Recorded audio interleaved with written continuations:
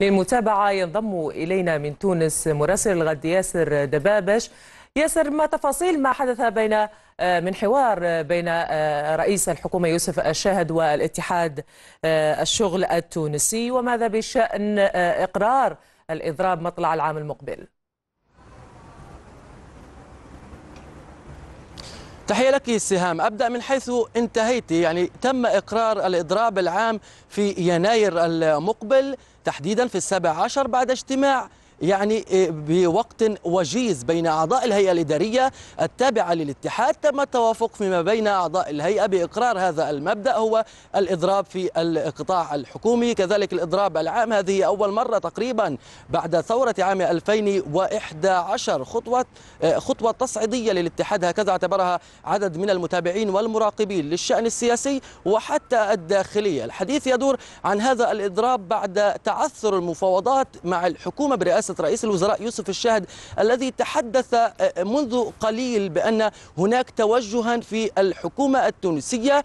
حول دعم القدرة الشرائية للتونسيين وعدة إصلاحات اقتصادية كذلك. يبدو أن هناك الوقت ربما باعتقاد عدد من المتابعين سيكون كافيا في حال تجددت المفاوضات بين الطرفين أو يحدث العكس. نحن نتحدث عن فترة زمنية ليست بالقصيرة. يعني هل هناك أي توقعات لاجتماع مع بعض الحكومة مع هيئة اتحاد الشغل التونسي وكيف هي التحضيرات للإضراب العام المقبل وما هي المؤسسات التي ستدخل هذا الإضراب؟ المؤسسات التي ستدخل في هذا الإضراب الوزارات والمؤسسات التابعة للحكومة نحن نتحدث عن زهاء مليون موظف وعامل تابعين للحكومة في تونس في جميع أنحاء البلاد. إذا ما تحدثنا عن المفاوضات والحوار إلى حد هذه اللحظة لم تصدر أي يعني أنباء رسمية بهذا الشأن. لكن الحديث يدور أن اتحاد الشغل التونسي وعلى لسان أمينه العام أعلن في وقت سابق وقبل يعني تنفيذ الإضراب بالوظيفة العمومية بأن الأغلاق أبو يعني الأبواب عفوا أغلقت مع الحكومة نتيجة عدم الاستجابة الحكومية للمطالب. المطالب الرئيسية للاتحاد سهام. دعم القدرة الشرائية للموظفين الزيادة في الرواتب والأجور وتحسين المرافق العمومية.